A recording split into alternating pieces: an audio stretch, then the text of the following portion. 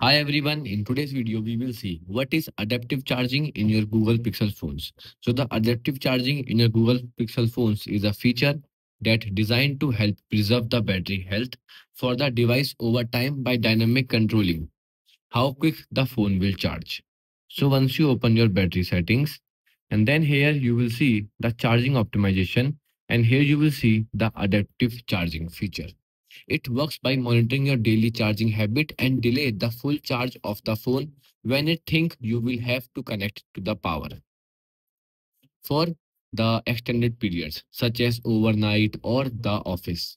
And when you charge your Pixel phone for a long time or overnight, adapt charging may turns on the charger the battery at 100% one hour before you unplug it.